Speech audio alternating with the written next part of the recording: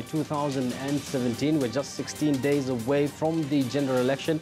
A very good afternoon. Many thanks for joining us here at this hour. My name is Yusuf Ibrahim. Of course, this is the campaign edition of Choice 2017. And it's here that we're going to discuss nothing else but politics. And uh, it's here, of course, we're going to, of course, give it to you, you know, the rallies happening uh, as they happen on the ground. And it's here that we're going to uh, separate facts from fiction. Now, on the campaign trail uh, this afternoon, President Uhuru Kenyatta is in the northern Kenya county of Mandera. Uh, that is where we're getting reports that he is uh, currently addressing his uh, supporters there. We're going to link up with the reporter Mureme Mwangi shortly. And thereafter, the president is going straight to uh, the neighboring Wajir uh, county. And on the other hand, Raila Odinga, that is NASA's presidential candidate, is in Lamu County. Francis Ontomwa is going to tell us more on that. And yesterday on the campaign trail, the Jubilee leadership under President Uhuru Kenyatta were in Nairobi. Of course, Nairobi is another very interesting county with the highest number of registered voters. And uh, he did say, you know, in his uh, rally there, he did, you know, made some very interesting uh, announcement. Let's listen into uh, what some of the leaders had to say yesterday.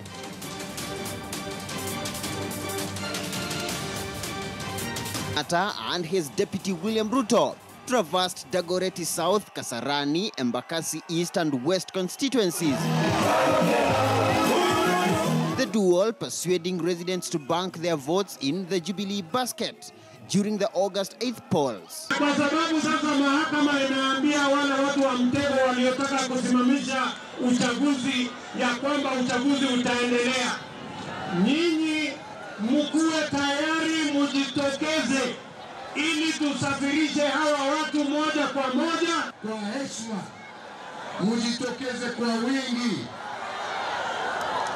mupigie Jubilii, tuendelee na kazi ambayo tumeianza pamoja, na hapa Nairobi tulete mabadiliko.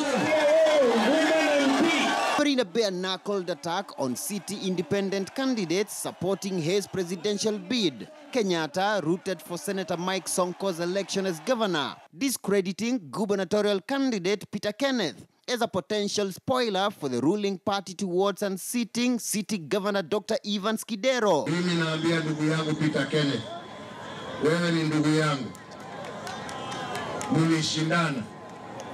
Sisi hatutaki Nairobi iendeshwe tena na wale ambao hawaelewi shida ya Nairobi. Kuanzia tarehe tisa mwezi wa nane, pesa yenu na bilioni yenu yanayotoka kwa Uhuru Kenyatta through serikali ya kaunti nitazileta hapa mashinani. Mnataka sasa gavana wenu, mnataka Sakaja awe super senator, mnataka human. President Kenyatta's city campaign comes only a week after the Raila Odinga-led National Super Alliance double tour of the city in the hunt for votes. In 2013, Odinga beat Kenyatta in the city, garnering 49% of the presidential vote, compared to the president's 47% share of the Nairobi votes. But the president's former TNA party scooped 10 parliamentary seats, the senatorship, and the woman representative, compared to the Odinga led ODM party's seven city MPs and the governorship. But the Jubilee leaders vowed to paint the city red in August, demanding for nothing short of the six piece Jubilee suit in the poll.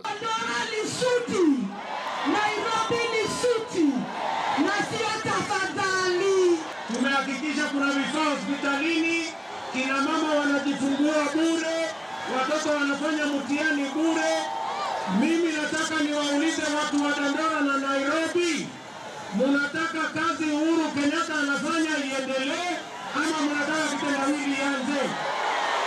Tujenge Nairobi hii na tujenge Kenya pamoja, lakini mji wa Nairobi watia yule watu wa Nairobi walichagua, na huyo ni Mike Mbuvi Sonko. After staking a claim to the over 2 million votes in the city, the head of state now proceeds to Mandera and Wajir counties as the race to State House enters the home stretch. Muremi Mwangi, KTN News in Nairobi. Well, that is Jubilee earlier on. That is yesterday. They were in Nairobi, and there's a very interesting announcement there that came from the head of state. And it is a message that might as well turn out to be a major blow to the gubernatorial ambition uh, by one of the candidates there, Peter Kenneth. Of course, we're going to uh, analyze that for you. But for now, as I've already told you, NAS, on the other hand, are at the coast and they're expected to be in Lamu today. Now, just, just to tell us more on what to expect uh, from uh, Raila Odinga's brigade there uh, at the coast, to be specific, in Lamu. Now, we're now joined by our reporter, Francis uh, Ontomwa, who is at the coast. Good afternoon, Francis. And what is NASA's agenda this time round at the coast? Uh, well, Yusuf, uh, we are broadcasting from Mombasa, but closely following events in Lamu County. And right now, we, uh, Raila Odinga has just wrapped up his tour of uh, Hola. He has been speaking to residents there, of course, all in a bid to try and convince the residents of our coast region entirely to vote uh, for Jubilee. It has been an action-packed day for, to, for, for NASA, rather. Uh, it has been an action-packed day, actually, for Raila Odinga with his, with his team of principals. He has been in Lohola together with Kalonzo Musyoka. Moses Muda, Moses, Musalia Mudavadi, Moses Wetangula, and a host of other leaders from uh, the coast region here, all in a bid to try and drum up support for Raila Odinga's presidential bid come August uh, 8th. Uh, from Hola, the entourage, of course, heads to Lamu County, where he's expected to also address uh, a rally there and uh, a schedule, and also uh, coupled by a shed, some scheduled stopovers at different places in Lamu County. And all, of course, it's to try and see whether they can be able to really convince the coast region to to, to, to, to support them uh, close to what they did in the last election. Coast being an important place uh, in the in the presidential mathematics. That is why we've seen Jubilee and NASA all laying focus down here in the coast region. Last week, Uhuru Kenyatta was in the coast region, specifically in Lamu County, and of course he spoke to residents there. And today it is the time of Raila Odinga to try and go and uh, sort of scuttle what was planted there by the Jubilee uh, by the Jubilee Party. Uh, important at this particular juncture is to look at some of the issues that will be merging in the in the in the in the Raila Odinga's visit in the coast region, and it and top among them has to be the question of uh, insecurity. Security has been a top issue in Lamu County, northern Lamu and Lamu West, particularly being the most volatile areas. Last week, the head of state said that he had launched a war against the the, the, the Al Shabaab insurgents, and this time around. Uh, it is interesting actually to hear what the opposition will have to say on the same subject, uh, given that they have uh, incessantly actually say that they have an alternative uh, way of doing things on how to end uh, the question of insecurity. Security, Yusuf, being an important issue as we head to the elections, uh, not once but we've uh, but several we've had uh, analysts say that it may also affect voter turnout uh, should uh, the question of uh, insecurity not be handled in the best way possible. Already there are a number of people leaving parts of Boni Forest, of course, in fear of attacks, and that is why we, we, it is actually important really to hear what these top leaders have to say in terms of as regards the question of security.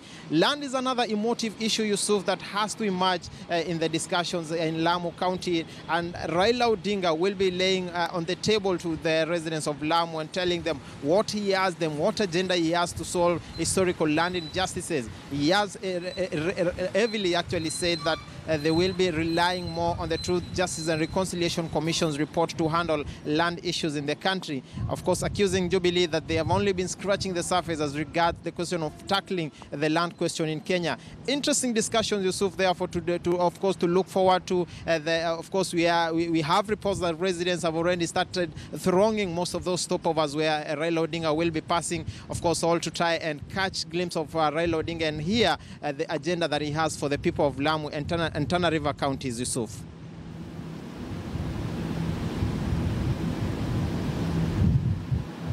Many thanks, Francis, for that. Of course, it is a very busy day politically speaking, and we are right here to make sure that our viewers don't miss anything as far as the campaign trail is concerned. Many thanks, Francis. Once again, we're going to link up with you later and give us uh, some, you know, some sort of an update from that rally where NASA leaders are expected at the coast. Actually, they are in Lamu, and top on the agenda will be issues to do with insecurity uh, there. Remember, at this hour, this moment, President Uhuru Kenyatta and his Jubilee Brigade are in northern Kenya, to be specific, in Mandera County.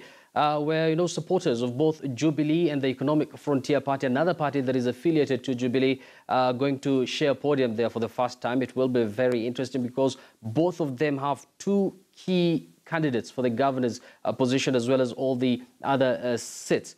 But for now, in studio, together with our political analyst here, one is John Kagushia. He is a political analyst, and we expect uh, lawyer Kakai Kissinger actually is here with us in studio, is going to join us uh, shortly to make sense out of all uh, these developments today.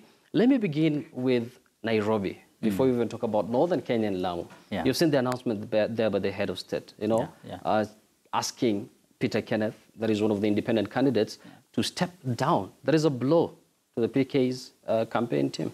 Yeah, PK came as a preferred candidate when he started his campaigns in Nairobi. And uh, if you can remember, there's a time he made a statement that uh, he was yet to make a choice as to where he would run. At that time, he was talking about Muranga, he was talking about Nairobi, and he was referring to Nakuru. And at that time, I questioned the wisdom of um, kind of saying, I'm, I'm trying to choose where I, I, I'm going to run.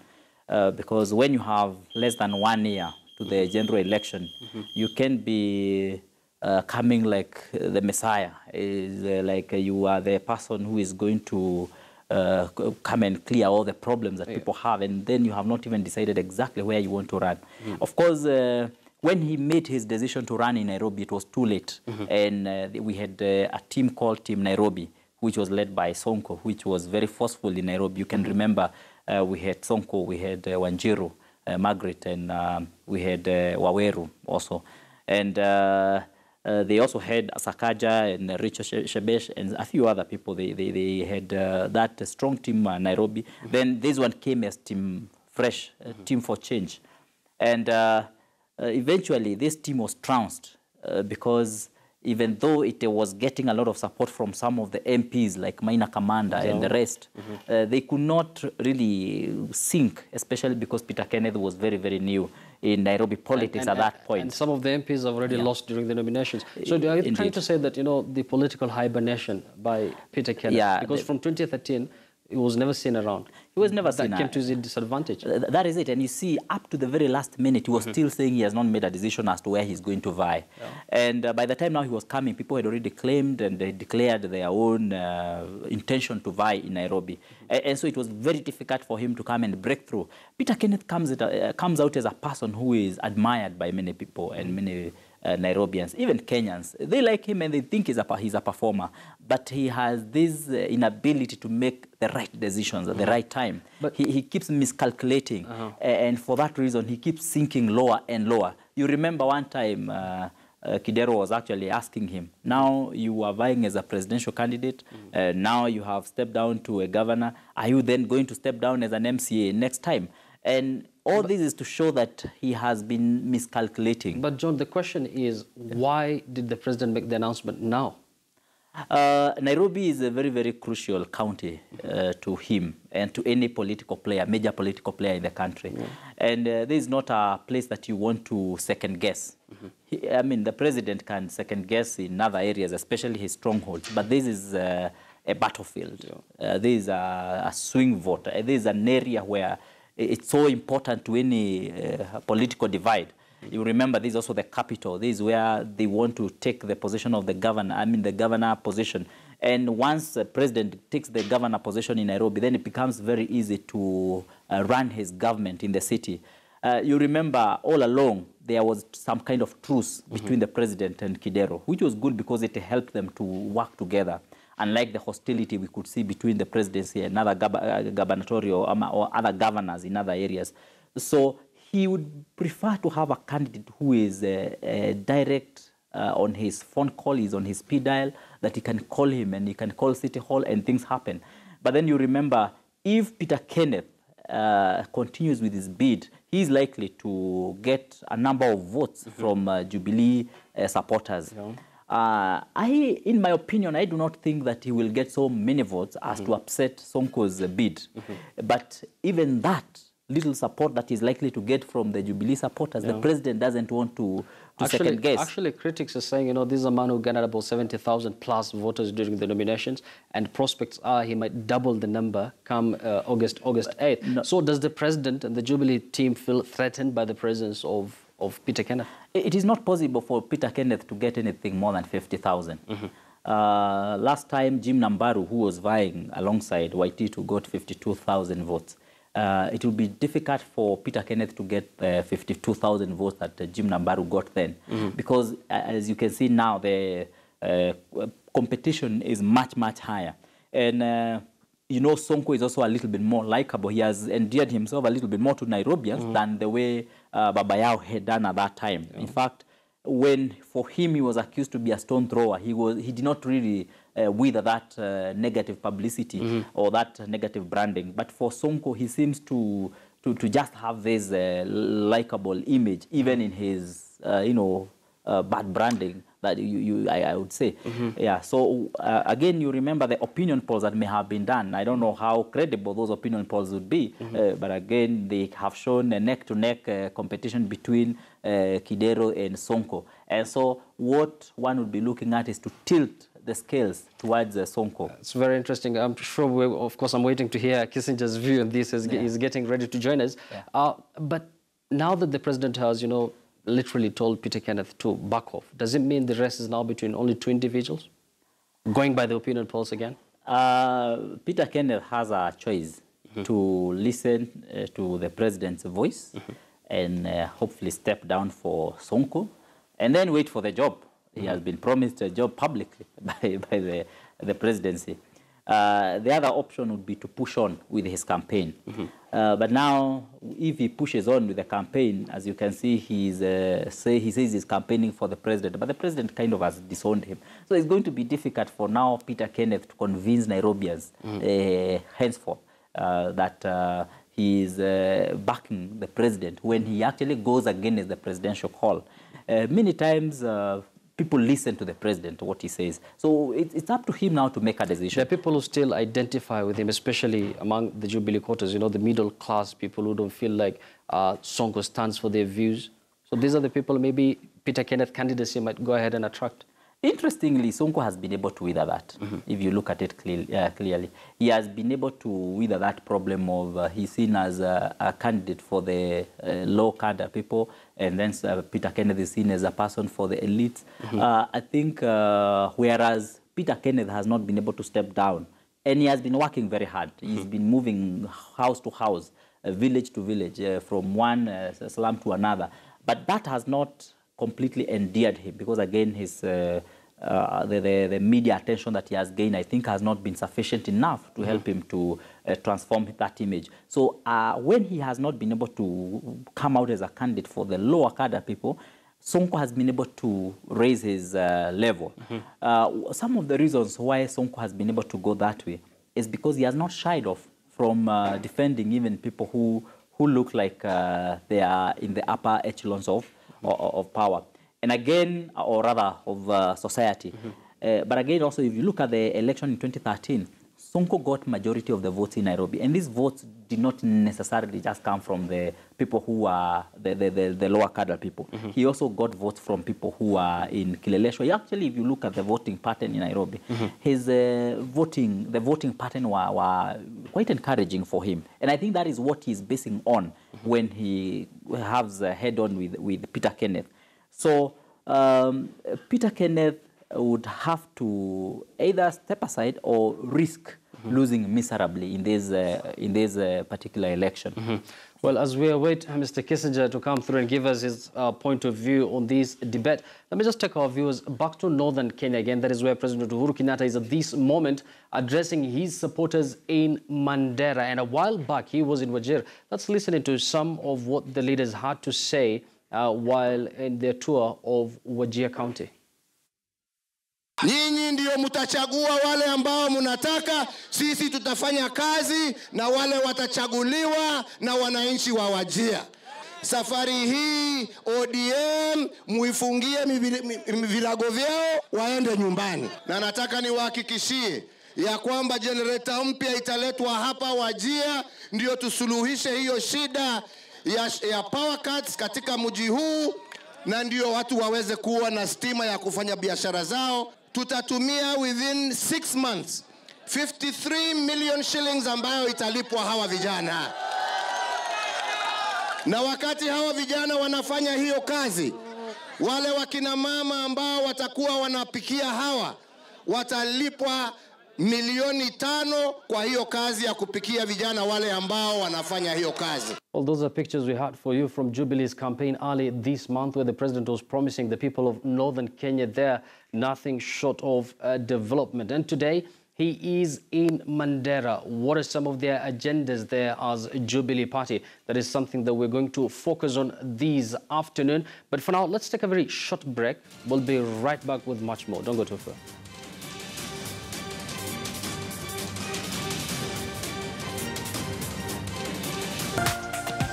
This is KTN News.